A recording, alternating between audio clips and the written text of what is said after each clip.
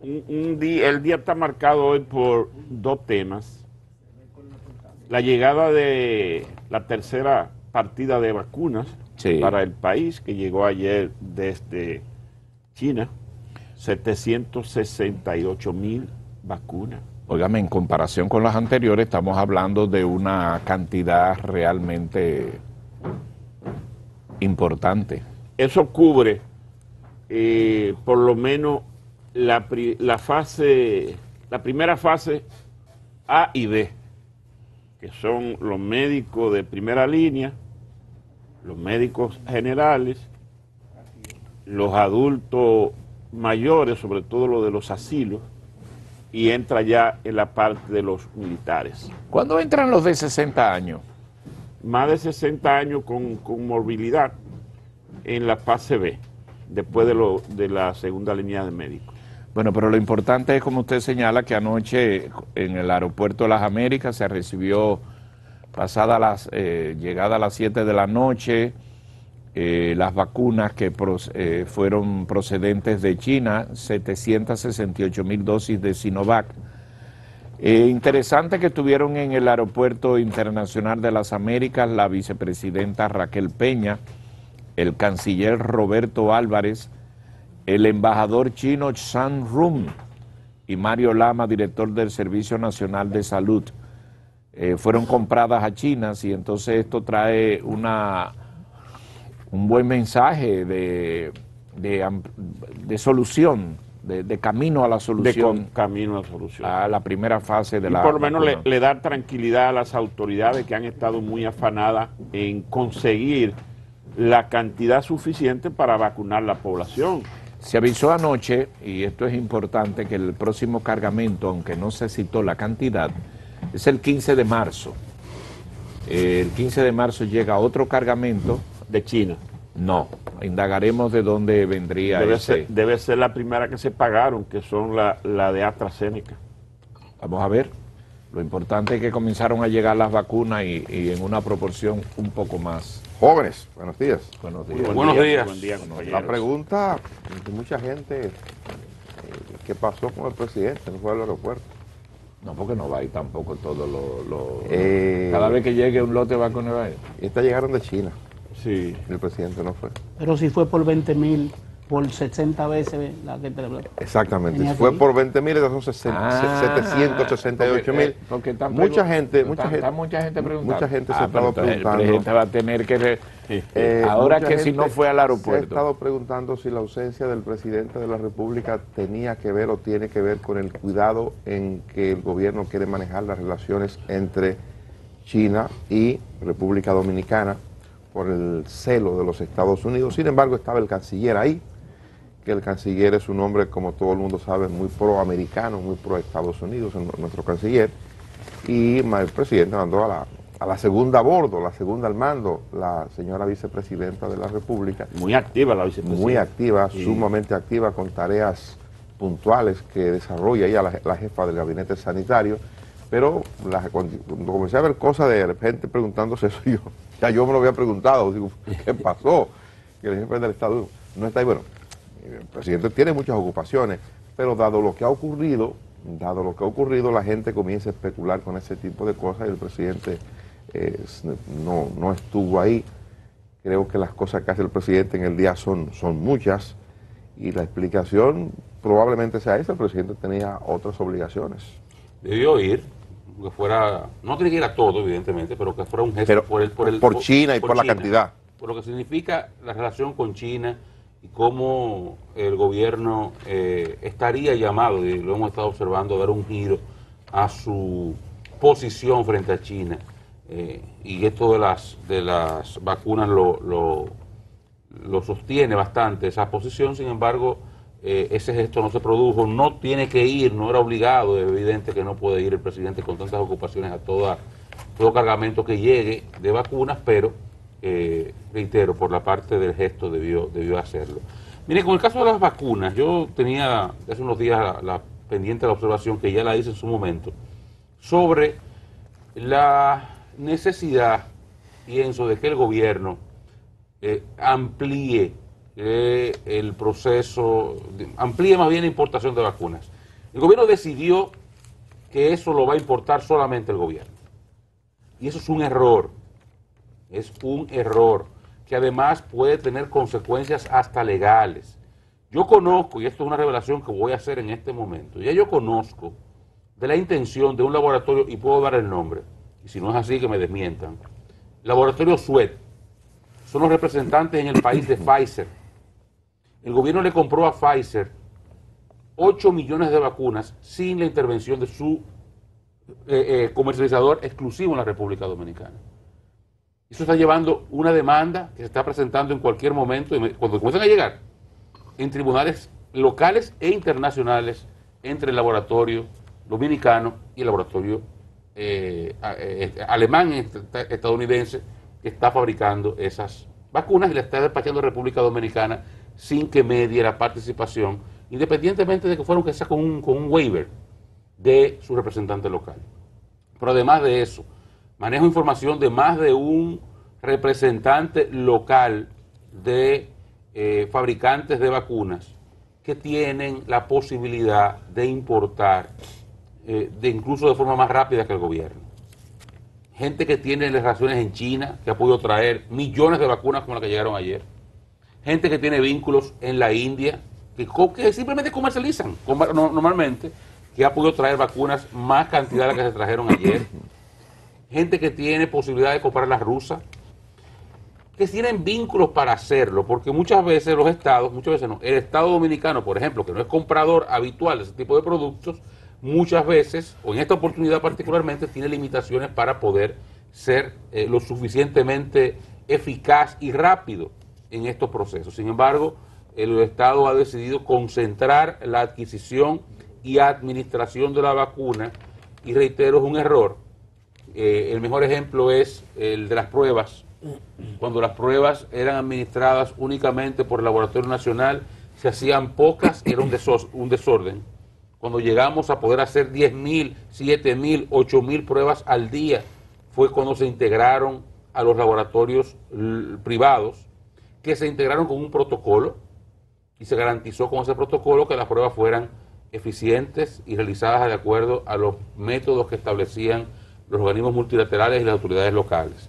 Y eso es lo que deberían hacer con la vacuna, aplicar protocolos de vacunación que sean eh, eh, válidos para todo el mundo, que no sean discriminatorios, y por eso sugería que los planes de seguro básico del plan básico de salud se incluyera la vacunación gratis.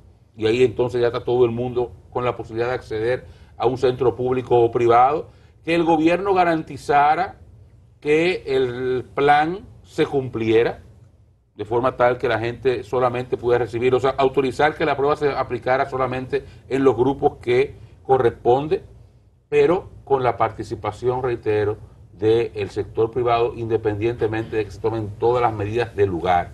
Pero el gobierno concentrar la aplicación de la vacuna solamente a las que adquiere el gobierno y a las que administra el gobierno, reitero, lo considero un error. Eso, eso sin entrar en el tema de la jeringuilla, que la información que manejo es de que tenemos ahora mismo mucho más vacunas que jeringuilla. Ahora mismo no hay jeringuilla para aplicar esa cantidad de vacunas. Y eso es una muestra de cómo la concentración de un proceso en manos del Estado puede generar distorsiones que dificulten la eficacia de un plan tan importante como este de vacunación contra el COVID? Bueno, esto es una cuestión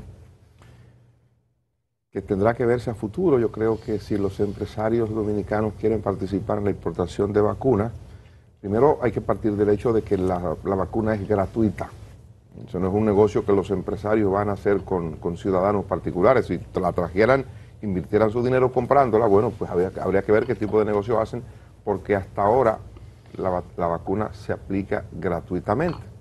Eso es una cosa. La otra es, hay que reconocer, y esto en beneficio del gobierno del Estado Dominicano, hay que reconocer que el gobierno está haciendo esta compra es en un estado de excepción.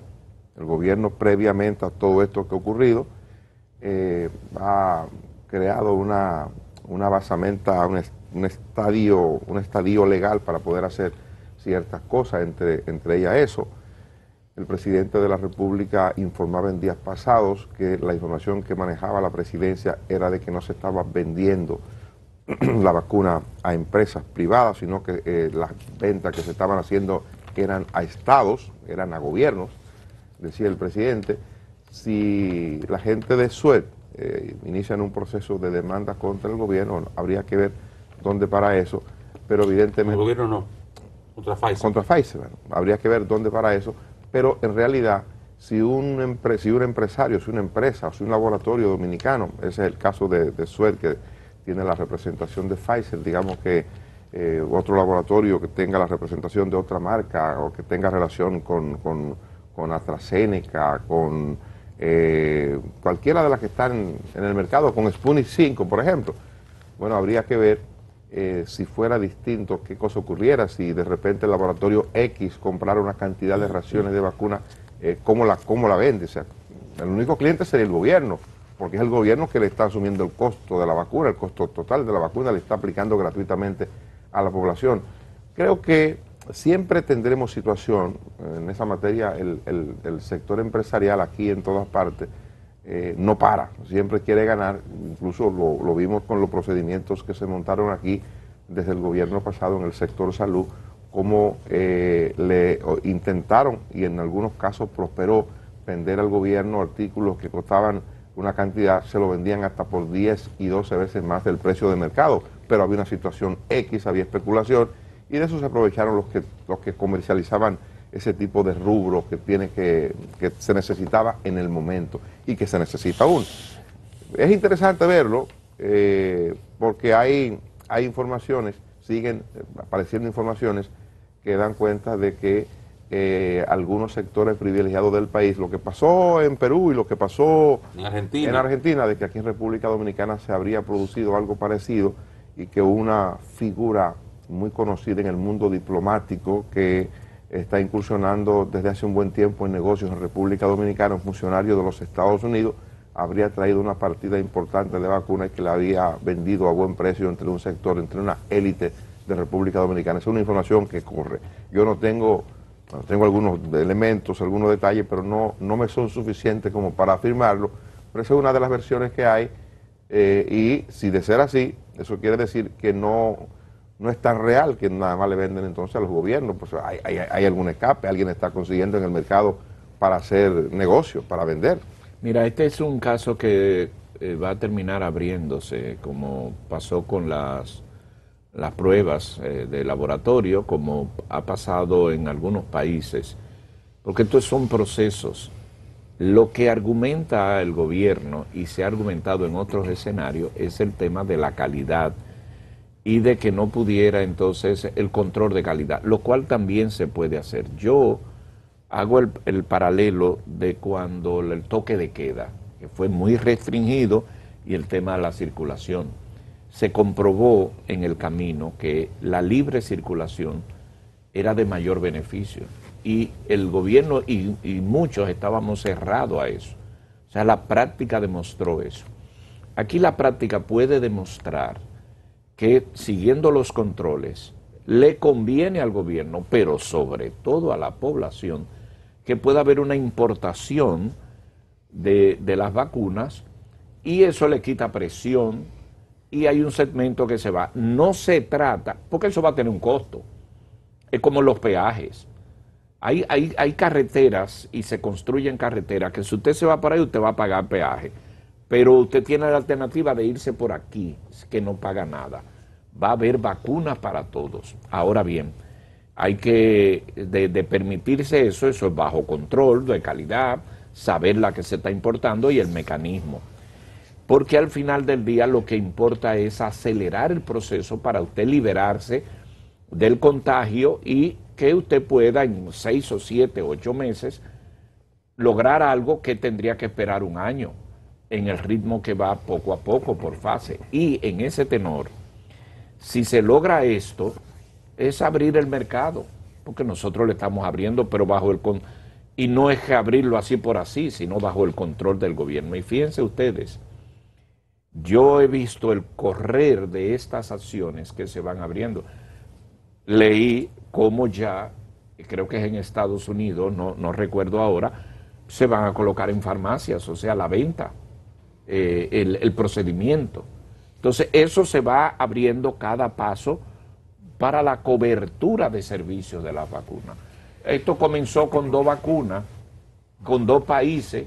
Ya tenemos la vacuna de la India, tenemos la vacuna de la de Rusia pasó la prueba, La de Rusia son tres y la de Estados Unidos son como la cinco. de China, la de eh, ¿cómo se llama esto? La de eh, eh, Estados Unidos, Moderna. O sea que hay un, mo- un- hay una, una oferta sobre la mesa que los países van a, a romper ese hielo y aquí haciéndolo con seguimiento y control se puede hacer. Esto que dice Oscar de, la, de las jeringas, de las jeringuillas, lo que yo propongo, para, para aclarar algo que tú, que tú abordabas, lo que yo propongo es algo parecido, más similar es al, al tema de las pruebas. Fíjate que las pruebas, al final, la gente con una receta no las paga, las paga el, el- el- mismo Estado a través del Servicio Nacional de Salud. No es que, no es que haya un empresario que, que- vaya a hacer un negocio. Al final, eh, todo el que trae algo lo va a vender. Incluso se pueden hacer acuerdos con los importadores para que los beneficios sean mínimos. Y yo creo que estarían dispuestos a colaborar. Es un tema de unificar esfuerzos. Yo creo, soy la firme creencia, incluso siguiendo los protocolos, que por ejemplo, yo no creo en eso de que si la traen por la izquierda un empresario, a mí, que no me toca hasta la fase 4, me la puedan eh, eh, poner. No, que se continúen los protocolos en, el marco de lo que el gobierno dice que se continúen y que solamente lo cubran así. Es simplemente que haya más fuerzas para empujar en una dirección. Si el, el- gobierno es un solo brazo, si se pueden sumar 10 brazos a la, a, la, a la posibilidad de importar vacunas, posiblemente aquí tengamos más rápidamente eh, una inoculación global de la población. Eso, a eso se- yo me refiero. eso sería lo ideal. Lo ideal sería que tengamos canales de distribución eh, diversos y que toda- todas las, las- las empresas que tienen que ver con la comercialización de medicamentos pudieran disponer de esto, eh, lógico, con la, el protocolo establecido por, por el gobierno. O sea, eso sería, sería interesante. Creo que nadie puede resistirse o dejar de reconocer que eso ayudaría a que en un tiempo menor podamos lograr a los 10 millones de ciudadanos de República Dominicana. Pero lo de las jeringas me llama la atención. Eso es grave, lo de la jeringa.